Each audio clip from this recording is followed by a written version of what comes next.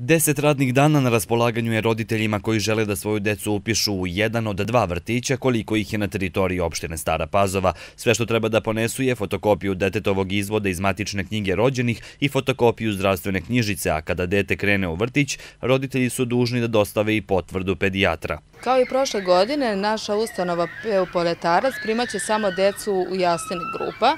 Znači u objektu Sunce u Staroj Pazovi popunjavaće se četiri jastene grupe, u objektu Bubamara u Nove Pazovi pet jastenih grupa, u Golubincima do popune mesta će biti, kao i mlađa grupa od 2,5 do 3,5 godine. U Golubincima će biti do popune mesta tako da i obavezan pripremni preškolski program. Prioritet za upis u celodnevni boravak imaće najpre deca iz osjetljivih grupa, kao i deca zaposlenih roditelja i redovnih studenta, deca iz porodica sa troje ili više dece i deca čija su braća i sestre upisana u istu preškolsku ustanovu. Mi praktično nemamo više liste čekanja.